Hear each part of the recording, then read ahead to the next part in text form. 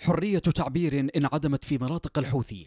أفواه إعلامية كممت بالقوة وأقلام أوقفت بقوة السلاح.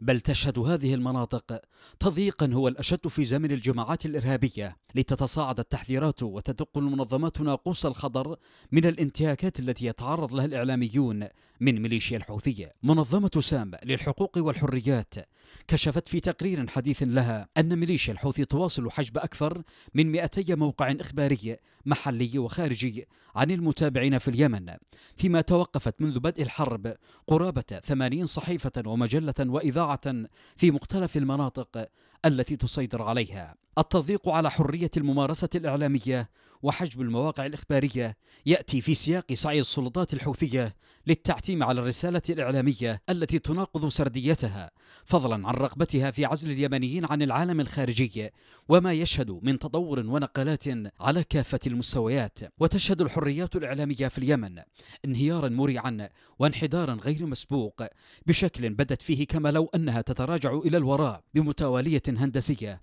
الأمر الذي جعل من اليمن واحدة من أسوأ البلدان في الحريات الإعلامية حيث احتلت المرتبة التاسعة والستين بعد المئة في مؤشر الصحافة العالمية. ولا زالت ميليشيا الحوثي تواصل انتهاكاتها بحق الإعلاميين وتتجسس على وسائل الإعلام إلا من تعمل وفق سياستها التي طحنت البلاد وسط مطالبات دولية بتجنيب تقييد الوصول إلى الإنترنت أو فرض رقابة على المحتوى الإخباري بأي حال من الأحوال.